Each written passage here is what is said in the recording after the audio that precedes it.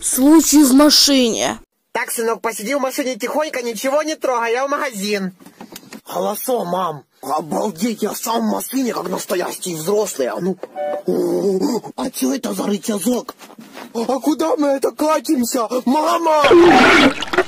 Алло, мам, представляешь, я с твоей машины подводную лодку сделал. Помнишь, ты мне говорила, что мой папа работает на подводной лодке и из-за этого к нам не приезжает? Вот сейчас приедет, потому что у нас есть уже подводная лодка из твоей машины. Там, мама, какой детдом? Мама, мама, не надо детдом, ну, мам.